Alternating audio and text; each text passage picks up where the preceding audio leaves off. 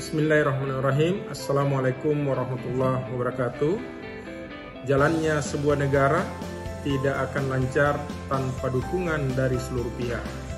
Tanpa terkecuali dari dukungan saudaraku pengurus lembaga dakwah Islam Indonesia.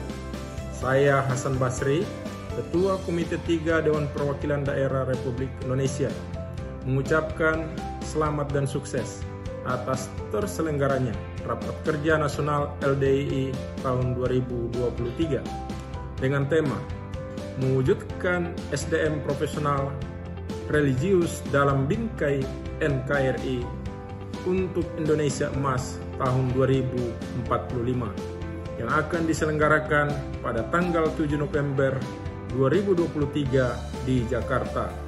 Terima kasih. Billahi taufiq wal hidayah. Wassalamualaikum warahmatullahi wabarakatuh. Saya Imade Diana Kartika, Ketua DPRD Kota Malang, mengucapkan selamat dan sukses untuk keluarga besar LDII yang sedang melaksanakan Rapat Kerja Nasional LDII 2023 pada tanggal 7 sampai 9 November 2023. Semoga dengan tema mewujudkan SDM profesional religius dalam bingkai NKRI untuk Indonesia Emas 2045 bisa berjalan dengan sukses, lancar, tanpa ada hambatan apa pun. Khusus untuk rombongan Kota Malang, kita ucapkan selamat dan sukses. Semoga selamat sampai tujuan dan kami tunggu di Kota Malang. Ayo kita bangun Kota Malang dengan semangat hasil Rakernas LDI 2023. Kita bangun Kota Malang dan wujudkan SDM profesional yang religius. Kita bangun Kota Malang dengan semangat persatuan dan kesatuan kita bersama. Hanya dengan semangat gotong royong kita bisa membangun bangsa.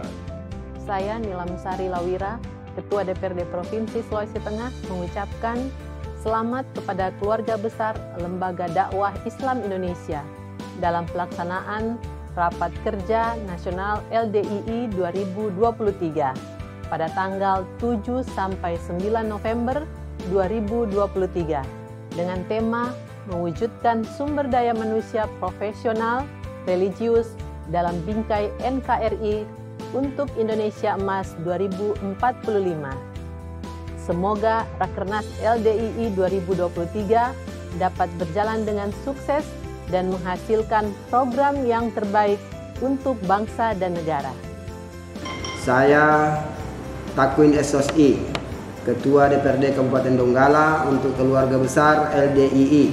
Saya mengucapkan selamat melaksanakan Rapat Kerja Nasional LDII 2023 pada tanggal 7 sampai 9 November 2023 dengan tema mewujudkan sumber daya manusia profesional religius dalam bingkai NKRI untuk Indonesia Emas 2045. Semoga Rakernas LDII 2023 dapat berjalan dengan lancar, sukses, serta menghasilkan program yang terbaik untuk bangsa dan negara.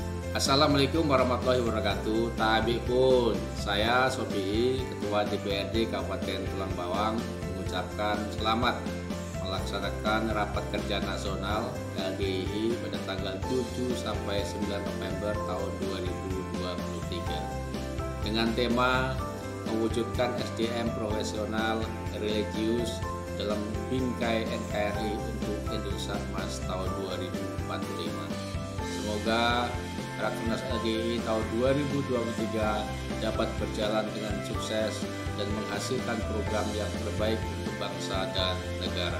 Saya Sahlan El Tanda Musuh, jabatan Wakil Ketua 1 DPRD Kabupaten Donggala untuk keluarga besar LDII saya mengucapkan selamat melaksanakan rapat kerja nasional LDII 2023 pada tanggal 7 sampai 19 November 2023 dengan tema mewujudkan sumber daya manusia profesional religius dalam bingkai NKRI untuk Indonesia Emas 2045. Semoga Rakernas LDI 2023 dapat berjalan dengan sukses dan menghasilkan program yang terbaik untuk bangsa dan negara.